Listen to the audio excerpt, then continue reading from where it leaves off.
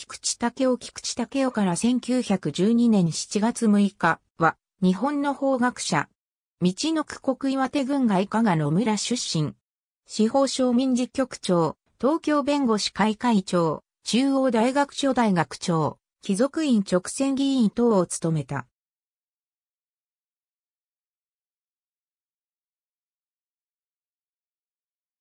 第一回文部省海外留学生菊池は右、中央が小村寿太郎、左が斎藤修一郎1854年7月28日、岩手郡外加賀の村年、大学南校を卒業し、明治政府の留学制度である文部省対比留学生規則の第一回対比留学生としてアメリカボストン大学法学校へ留学した。同じ留学生としては後の日露戦争講和談判全権大使、小村寿太郎や法学者、鳩山和夫もいた。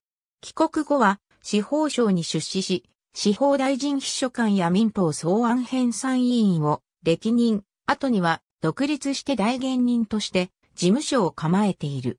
また、東京帝国大学講師や司法省民事局長、東京弁護士会会長を務めた。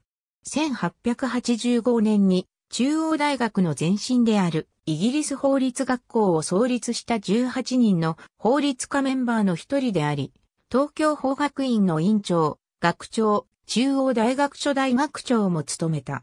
1888年、三つ栗林章、田尻稲次郎、穂積信重、鳩山和夫と共に日本で初めて法学博士号を授与される。